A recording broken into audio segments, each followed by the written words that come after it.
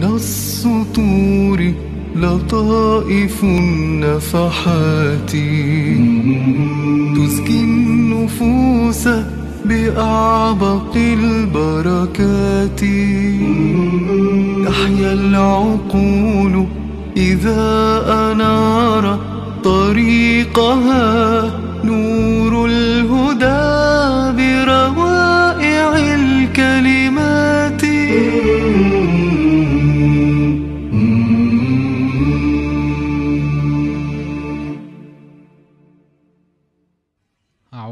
بالله من الشيطان الرجيم. بسم الله الرحمن الرحيم. الحمد لله رب العالمين.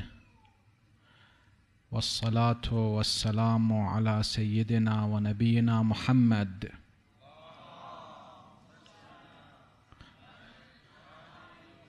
وآله الطاهرين. ولعنة الله على أعدائهم أجمعين إلى يوم الدين.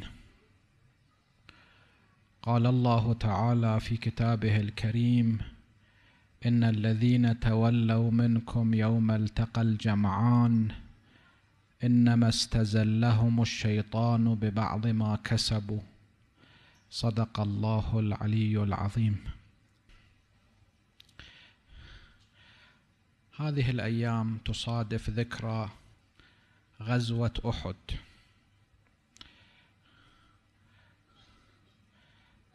فلنا كلمتان. الكلمة الأولى حول الغزوة والكلمة الثانية حول الدروس المستفادة من هذه الغزوة. حينما انهزم المشركون في غزوة بدر كان عددهم وعدتهم أكثر. كان المشركون حوالي ألف واحد والمسلمون ثلاثمائة وثلاثة عشر. وعدة المشركين من الخيل والسلاح كانت أكثر. لكن المسلمون انتصروا عليهم لحسن التخطيط ولإطاعتهم لرسول الله صلى الله عليه وآله فيما خططه لهم وبإيمانهم.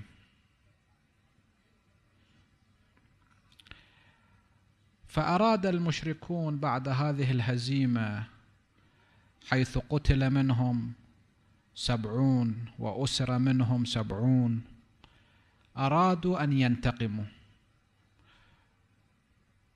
فجمعوا عددا وعدة وعزما أكيدا للانتقام ثلاثة آلاف. والمسلمون خرجوا إلى لقائهم وكانوا ألف واحد فقط. طبعا كانوا ألف وثلاثمائة لكن في وسط الطريق بين بين المدينة وأحد انخزل ثلاثمائة واحد من المنافقين مع عبد الله بن أبي فصفى للمسلمين ألف واحد.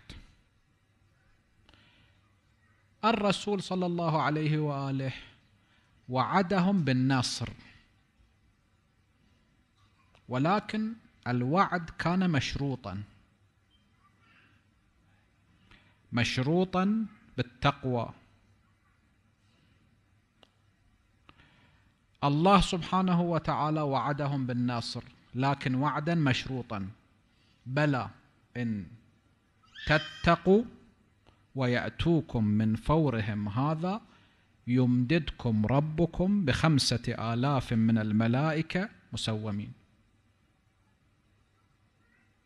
الله وعدهم بأن يرسل خمسة آلاف من الملائكة لينصروهم كما نصروهم في بدر بألف من الملائكة في غزوة أحد وعدهم الله بخمسة آلاف مو بألف. لكن بشرط التقوى. فوعد بشرط. التخطيط أيضا تخطيط دقيق جدا.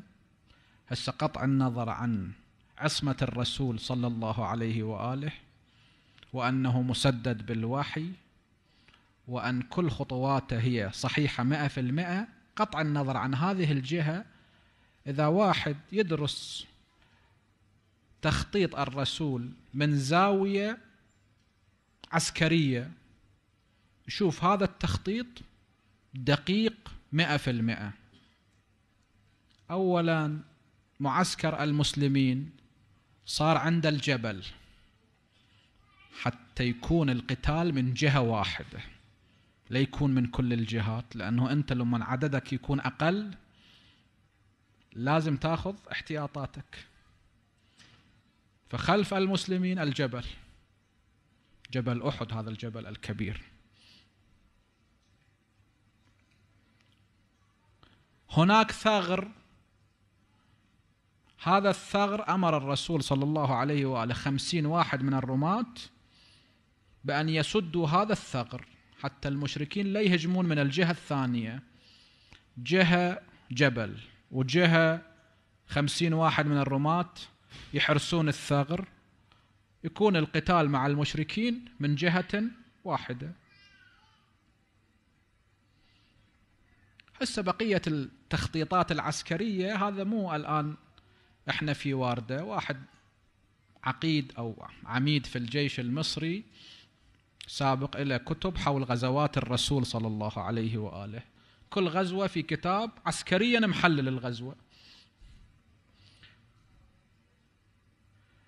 الشاهد أن المعركة بدأت. وكلكم تعرفون القضية مفصلا. فانتصر المسلمون في الجولة الأولى وانهزم المشركون. ولقد صدقكم الله وعده. الله سبحانه وتعالى صدق الوعد. أنت ما دام متقي الله سبحانه وتعالى ينصرك. إذ تحسونهم يعني بدأ المسلمون يقتلونهم. تحسونهم يعني تعطلون حسهم لأن القتيل ما له حس. حتى إذا فشلتم وتنازعتم في الأمر وعصيتم من بعد ما أراكم ما تحبون. هؤلاء عندما انهزم المشركون بدأوا بجمع الغنائم. وذاك الوقت ما كان نازلة آية تبين كيفية تقسيم الغنائم. أنه للفارس سهمان وللراجل سهم والخمس للرسول الله وللرسول ولذي القربى واليتامى والمساكين وابن السبيل وأنه من قتل قتيلا فله سلبه. إلى سائر تفاصيل كيفية تقسيم الغنيمة. فالعادة الجاهلية أنه أي واحد نهب أي شيء يكون إله. فبدأوا بجمع الغنائم فالذين هم في الثغر تركوا موقعهم الخمسين واحد بقى منهم 12 فقط. ورئيسهم بقي صامدا وقال لهم إن رسول الله صلى الله عليه وآله أمرنا بأن لا نترك موقعنا. الرسول أمرهم إحنا انتصرنا إحنا انهزمنا لا تتركوا هذا الموقع. لكن ما فات. فجاءوا ليغتنموا الغنائم فانتهز المشركون. خلو الثغر فهجم خالد بن الوليد من الثغر وقتل هو وأصحابه ذول الثنى عشر الواحد الباقين وهجموا من الخلف وبقية المشركين اللي كانوا منهزمين أيضا رجعوا فانهزم المسلمون وشردوا صعدوا على الجبل. والرسول يدعوكم في أخراكم. طبعا هذا أيضا من ضمن تخطيط الرسول صلى الله عليه وآله. لأنه لو ما كان خلفهم جبل في حال الانهزام كانوا يقتلون. فمن رحمة الرسول صلى الله عليه وسلم لهم حتى المنهزم هم لا يقتل. إذ تصعدون ولا تلوون يعني حتى مد وجهك ما تديره واحد لما هواية خايف لا يلوي عنقه ليرى خلفه كالريح. أو حسب روايات العامة عمر بن الخطاب الخليفة الثاني يقول فانهزمت حتى كأنني أروى أروى ضأن الجبل. هذا سريع جدا الخروف الجبلي. هذا سريع جدا في العدو على الجبل. يقول فانهزمت حتى كأنني أروى.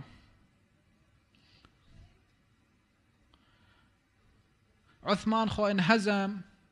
إلى ثلاثة أيام وهو ينهزم. إلى أن وصل إلى البحر. فعاقه عن الاستمرار في الهزيمة البحر.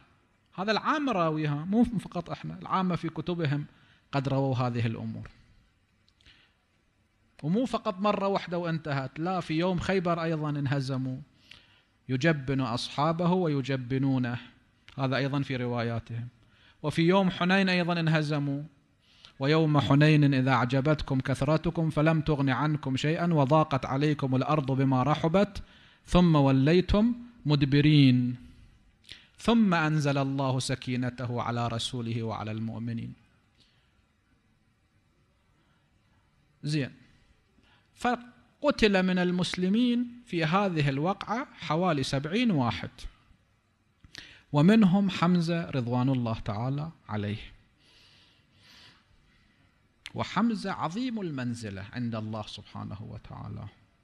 في بعض الروايات الرسول صلى الله عليه وآله يذكر حمزة وجعفر أنه شهداءنا خير الشهداء حمزة وجعفر.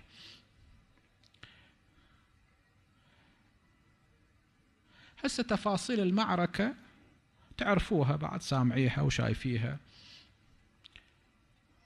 الشاهد أنه لماذا هؤلاء؟ الذين رأوا المعجزة في بدر. ولقد نصركم الله ببدر وأنتم أذلة. شاهدوا صحة تخطيط الرسول. شاهدوا أن إطاعة الرسول صلى الله عليه وآله بصالحهم. ويوم بدر كانوا أضعف من يوم أحد. يوم أحد المسلمين ولو أنه كانوا ألف والمشركون ثلاثة آلاف. لكن المسلمين كانوا أقوى من يوم بدر. لماذا في هذه الوقعة خالفوا أمر الرسول؟ حتى إذا فشلتم الفشل في اللغة العربية الفصحى بمعنى ضعف الرأي. هذا معنى الفشل ضعف الرأي. حتى إذا فشلتم وتنازعتم في الأمر. البعض يقولون أطيعوا أمر الرسول هسه لا تلتفتون إلى الغنائم. والبعض لا يقولون لا إحنا لازم نلتفت إلى الغنائم. لماذا حدث لهم هذا الحدث؟ هسه واحد ما شايف كرامة ما شايف معجزة ما يدري ما مجرب. يمكن بس واحد شايف وجرب. لماذا إحدى الآيات تبين هذا السبب. هاي الآية اللي تلوناها في أول الكلام. إن الذين تولوا منكم يوم التقى الجمعان إنما استزلهم الشيطان ببعض ما كسبوا. هؤلاء قد ارتكبوا ذنوبا. الذنب الإنسان حينما يرتكبه. زين تقول في حالة ضعف في حالة غلبة النفس في حالة وسوسة من الشيطان. يمكن الإنسان ضعيف لكن إذا الإنسان أخطأ أو ارتكب خطيئة لازم فورا يصحح. لأنه إذا ما صحح هذا الخطأ أو هذه الخطيئة في المفصل الحساس تردي الإنسان.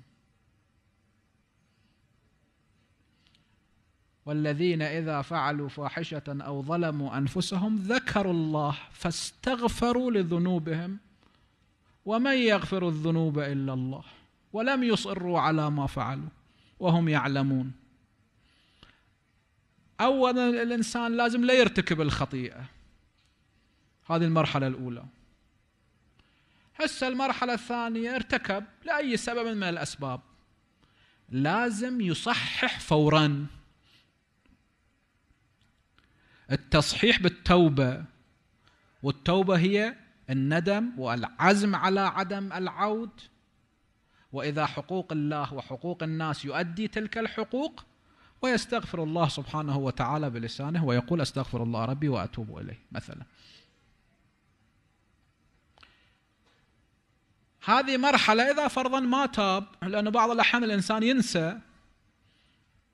طبعا عندنا في الأحاديث أن الله سبحانه وتعالى إذا أحب مؤمنا أو أحب إنسانا ما معنى الحديث؟ يذكر بالذنب ولو بعد عشرين سنة حتى يستغفر من ذلك الذنب. حتى إذا مات يكون طاهر مطهر لا يكون في عنق ذلك الذنب. لكن الكافر الله سبحانه وتعالى ينسيه من ساعته حتى يعاقبه في يوم القيامة بذلك الذنب. الإنسان لازم فورا يصحح. وإذا ما صحح في المواقع المفصلية ذلك الذنب يرديه. إن الذين تولوا منكم يوم التقى الجمعان في الروايات هذه الآية بالنسبة إلى الجماعة الخمسين واحد اللي كانوا على الثغر اللي 38 واحد منهم هؤلاء تولوا خالفوا أمر الرسول. إنما استزلهم الشيطان ببعض ما كسبوا. إذا أنتم تروحون سورة آل عمران تشوفوها تشوفون آيات غزوة أحد اللي هي الجزء الثاني من يعني القسم الثاني من سورة آل عمران. هذه الآيات في وسطها أكو ذكر الربا ودعوة إلى العمل الصالح ودعوة إلى ترك بعض المحرمات. لعله هذه المحرمات كانوا يرتكبوها. لذلك في الوقت المفصلي الشيطان استزل. استزله يعني أزله. من الزلل؟ يعني العثرة. ذلك الذنب سبب أنه في الموقع المفصلي يخالف أمر الله وأمر الرسول بمخالفة عظيمة. من أكبر الكبائر الفرار من الزحف يعني من الجهاد. كيف وفي مخالفة للرسول صلى الله عليه وآله؟ والرسول موجود. هسه بعد المخالفة دا يناديهم ارجعوا بأسمائهم. يا فلان يا فلان يا فلان. والرسول يدعوكم في أخراكم فأثابكم غما بغم غم الهزيمة وغم مخالفة الرسول صلى الله عليه وآله. لذلك على الإنسان أن يراعي هذه المسألة.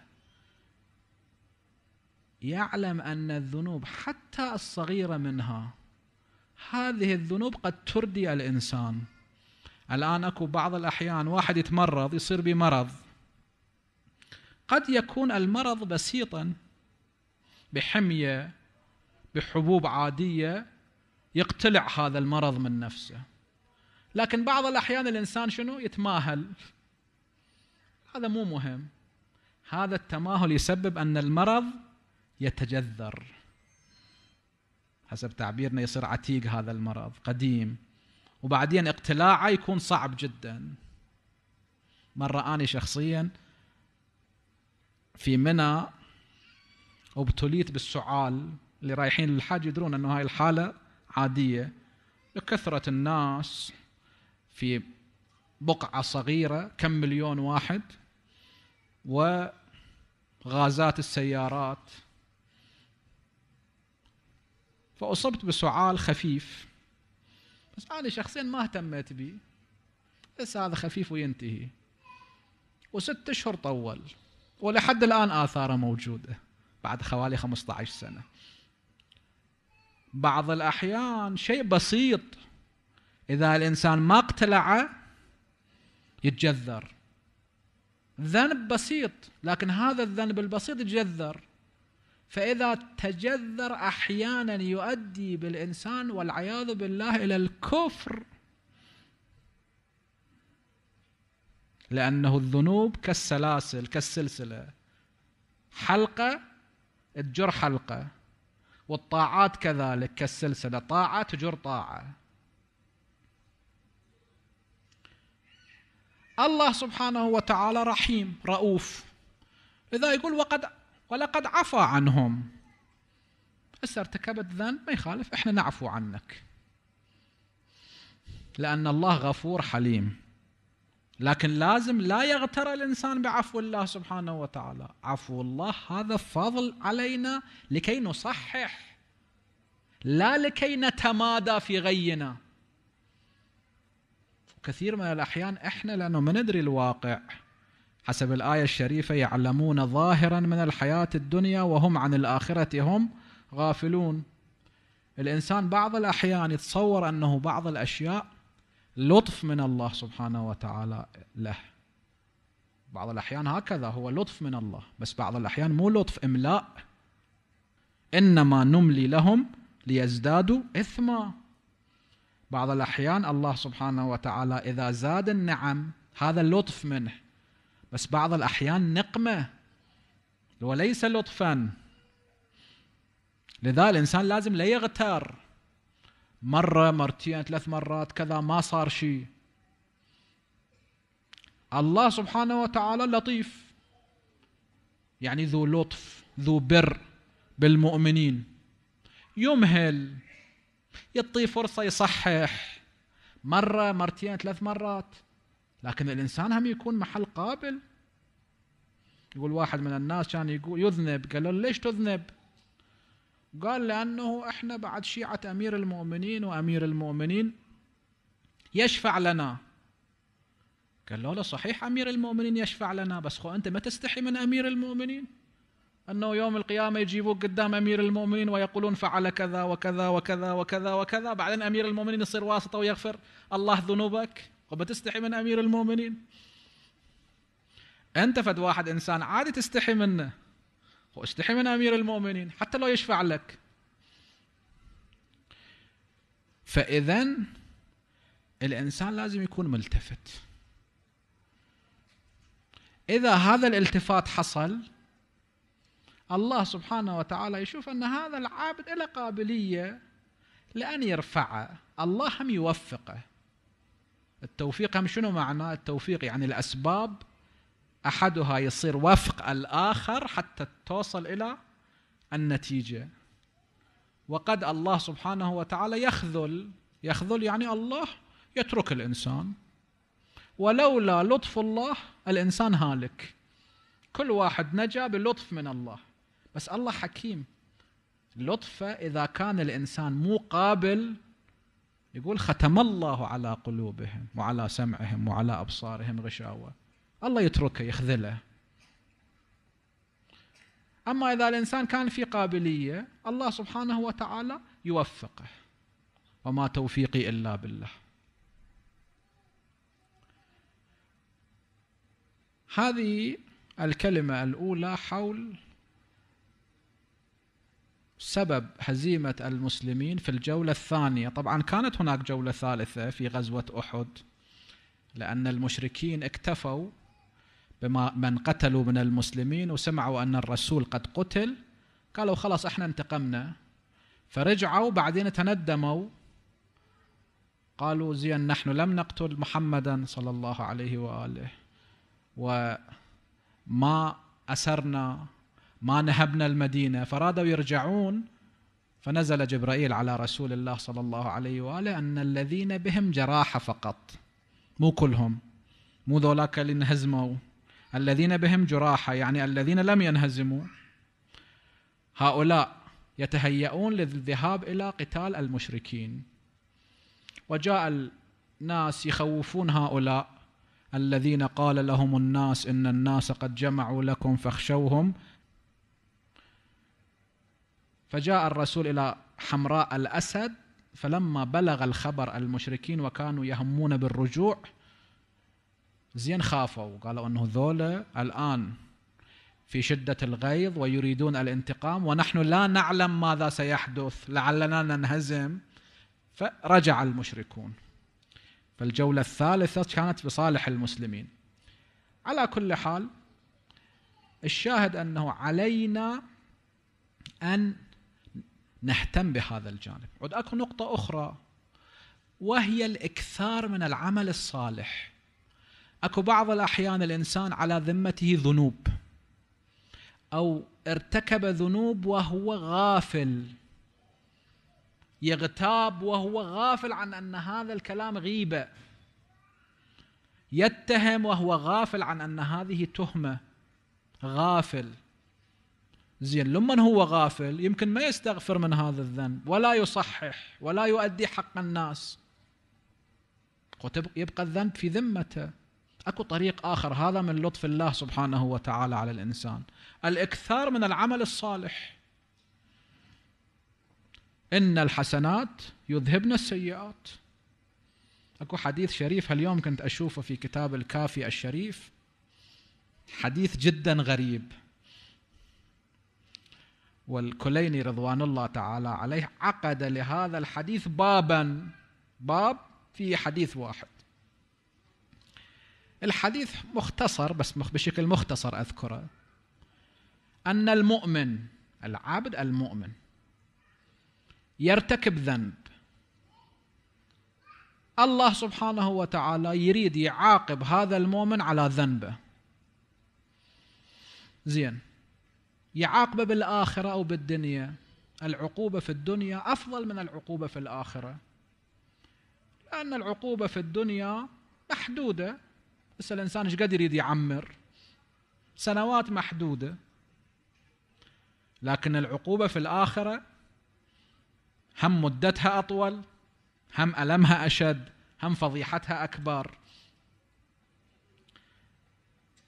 فالله سبحانه وتعالى لأن هذا الإنسان مؤمن يقدر عقوبته في الدنيا. وفي أحاديث عندنا إذا الله سبحانه وتعالى عاقب أحدا في الدنيا من المؤمنين طبعا لا يعاقبه في الآخرة لأن الله أكرم من أن يجمع عقوبتين على ذنب. هم يعاقبه بالدنيا على ذلك الذنب هم يعاقبه في الآخرة. فإما يعاقبه في الدنيا وإما يعاقبه في الآخرة. زين. لأن الله يحب هذا العبد المؤمن يقدر له عقوبة في الدنيا. زين. إذا هذه العقوبة نزلت بهذا الإنسان تسبب مساءته يعني همه وغمه. وأيضا بعض أنواع العقوبات فيها ضرر في المال ضرر في النفس مشاكل أمراض وما إلى ذلك. ففي جسده وفي نفسه. مكروه في جسده أو في ماله ومساء في نفسه. فالله سبحانه وتعالى يقدر عقوبته. لكن الحديث ما معناه أن الله سبحانه وتعالى يؤجل العقوبة. ياجلها مرات. وبعد ذلك يرفع العقوبة يلغيها. لماذا؟ يعني الله قدر لكن هذا التقدير بعدين الله سبحانه وتعالى يحصل فيه البداء. مثل قوم يونس الله قدر عليهم العذاب لكن كشف عنهم العذاب لما تضرعوا. فلولا قرية آمنت فنفعها إيمانها إلا قوم يونس. لما آمنوا كشفنا عنهم عذاب الخزي في الحياة الدنيا ومتعناهم إلى حين. مع أن الله قدر العذاب وأخبر يونس بهذا التقدير. ولذلك يونس خرج من المدينة. الله سبحانه وتعالى هذا العبد المؤمن الذي ارتكب ذنب قدر له عقوبة دنيوية. ويؤجل هذه العقوبة مرات إلى أن يلغيها يحصل فيها البداء. لماذا؟ الرواية تقول لكثير نوافله. هذا يصلي النوافل بكثرة. هسه أنا احتملت أنه لم يذكر الفرائض لأنه النافلة مو واجبة عليه. مع أنها مو واجبة يؤديها. زين. العقاب هم مو واجب على الله لأن الله يتمكن من أن يعفو. الوفاء بالوعد واجب أما الوفاء بالوعيد مو واجب. أنا وعدت شخصا بمال إذا لم أعطه ذلك المال هذا قبيح. لكن إذا وعدت المخالف بالعقاب ثم بعد ذلك أصفح عنه. هذا مو قبيح بل قد يكون فضيلة. الوفاء بالوعد واجب أما الوفاء بالوعيد ليس بواجب. هذا الإنسان يصلي نوافل مو واجبة.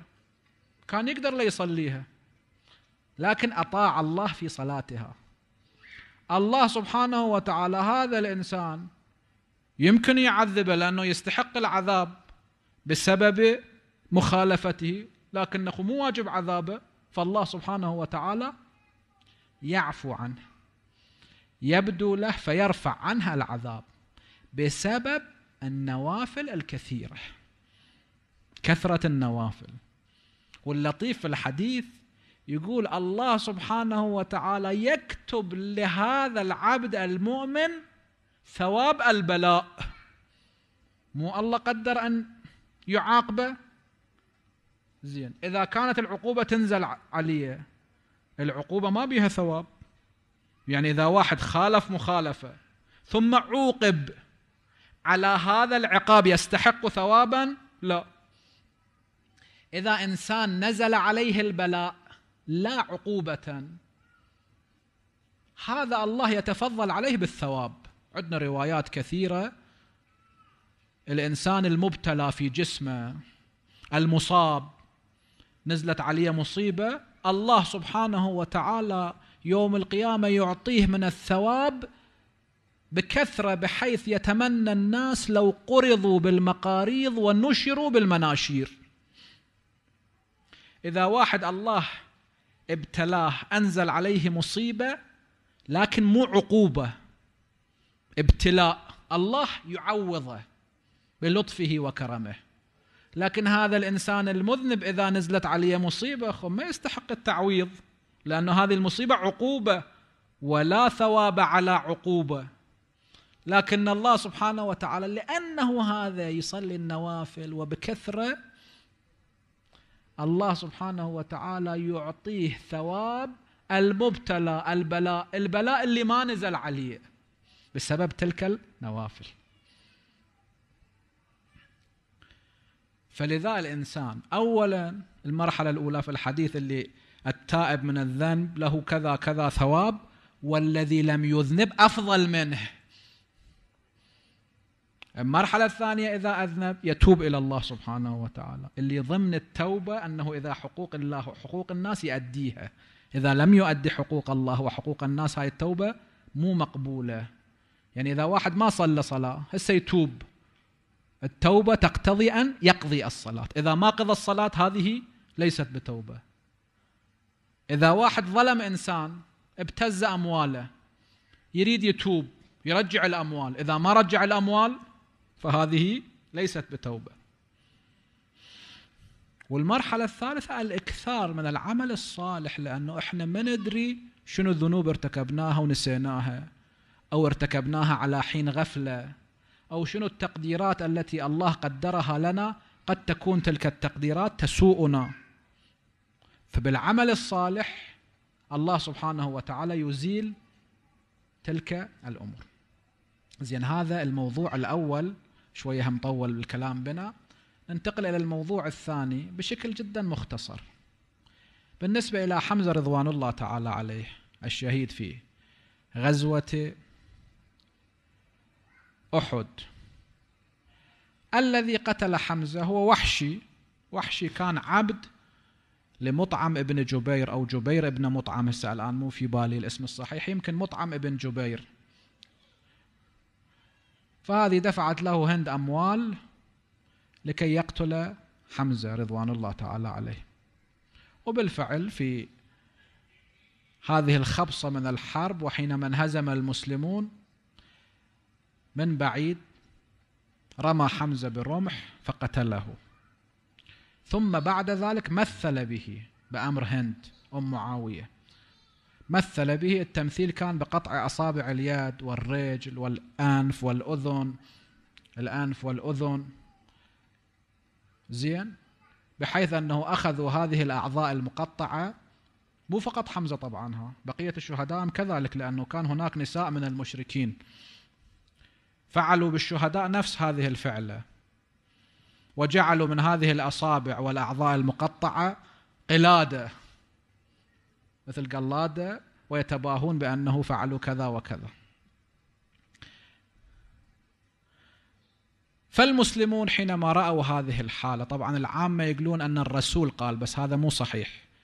وإنما المسلمون قالوا قالوا لئن أظفرنا الله بقريش لنفعلن بحمزة مقابل حمزة بسبعين واحد منهم هكذا فنزلت الآية. الآية أنه عاقبوا بمثل ما عوقبتم به. الإسلام دين ما بانتقام شخصي وتشفي كذا إلا ضمن الموازين الشرعية. زين. مرت الأيام والليالي إلى يوم فتح مكة. في يوم فتح مكة رسول الله صلى الله عليه وآله عفى عن الجميع. مع أنه الرسول كان يقدر ينتقم منهم. أولا هو فاتح. والشيء الثاني ذولا مجرمين كانوا. يعني حتى لو الرسول كان يقتل أبو سفيان وغيره كذا كان معذور لأنه في الحروب. فعلوا بالمسلمين ما فعلوا. لكن عفى عنهم إلا عن ثمانية. هؤلاء جرائمهم كانت كبيرة بحيث أنه ما كانوا يستحقون العفو. وأمر بقتلهم ولو رأيتموهم متعلقين بأستار الكعبة. لا تمهلوهم. فذول انهزموا بس في تفصيل واحد منهم كان وحشي. والآخر هبار الذي رمى زينب بنت الرسول صلى الله عليه وآله وكانت حامل رماها برمح الرمح لم يصبها لكنها فزعت خافت فأسقطت. ثم بعد ذلك توفيت ماتت. زين من الأشخاص الذين أهدر الرسول دمهم؟ كان وحشي. وحشي ختل حسب تعبيرنا نظام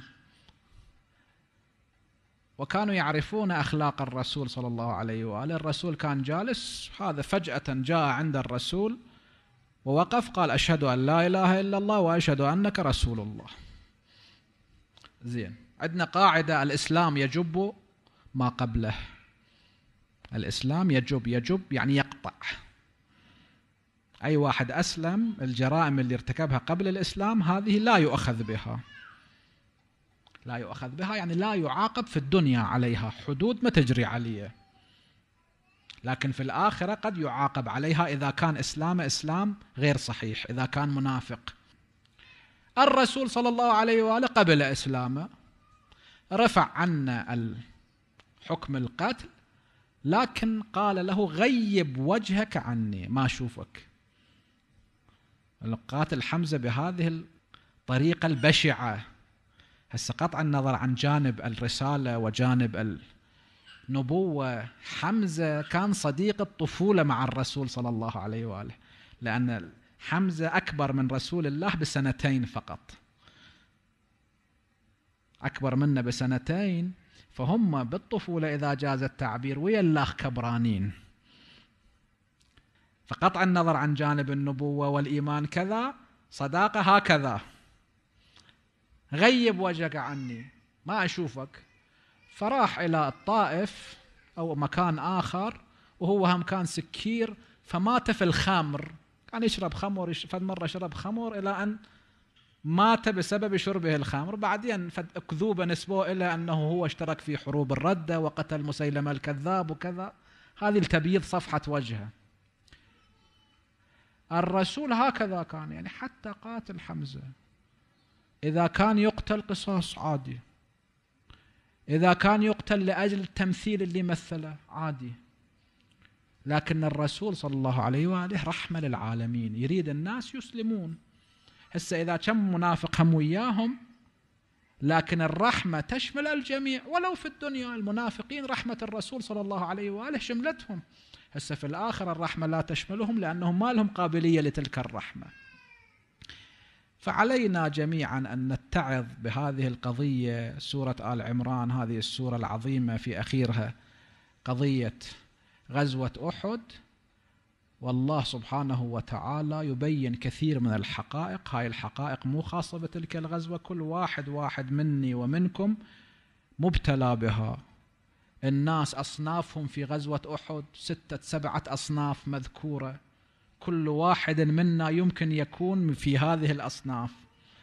قسم منهم الذين ثبتوا قسم انهزموا قسم خالفوا الرسول قسم نافقوا قسم كفروا قسم اتبعوا الشيطان.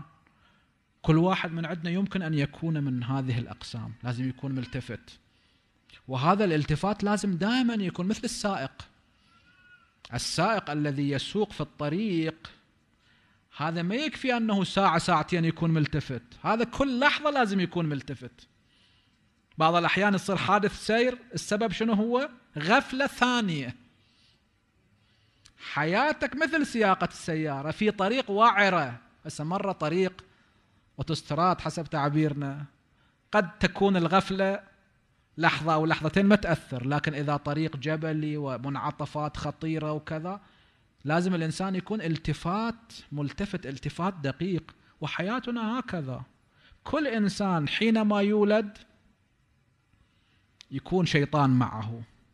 وهذا الشيطان إلى اخير حياته موجود وياه. غير الشياطين الآخرين الذين أحيانا أيضا يأتون. كل لحظة الإنسان لازم يكون ملتفت. والامتحان كل لحظة موجود. كل لحظة. أنت نايم تعبان كذا. الساعة ترن وقت صلاة الصبح. هذا امتحان. بعد ذلك تستيقظ امتحان ثاني. تخرج من البيت مثلا تشتري خبز أو كذا. تشوف نساء أجنبيات مثلا أو كذا. امتحان آخر. ترجع إلى البيت. ابنك بنتك كذا. مرتكبة مثلا مخالفة أو كذا. تصير عصبي. امتحان آخر. مع زوجتك امتحان آخر. مع زوجها امتحان آخر. كل لحظة في الحياة امتحان. تعلق التلفاز امتحان. تفتح ما أدري هذه الوسائل التواصل اللي الآن صايرة بعد جدا سهلة بالهواتف كذا امتحان امتحان امتحان امتحان. الشيطان موجود. الملك أيضا موجود. الملك يسدد الإنسان. بس الإنسان إذا ملتفت كيد الشيطان ضعيف. وإذا ما ملتفت استحوذ عليهم الشيطان فأنساهم ذكر الله. نسأل الله سبحانه وتعالى أن يجعلنا وإياكم من الذاكرين وأن يتقبل أعمالكم وزياراتكم وأن ترجعوا سالمين إلى سالمين بحوائج مقضية ودعاء مستجاب. هذا وآخر دعوانا أن الحمد لله رب العالمين وصلى الله على سيدنا ونبينا محمد وآله الطاهرين. بين السطور لطائف النفحات. تزكي النفوس بأعبق البركات. تحيا العقول إذا أنار طريقها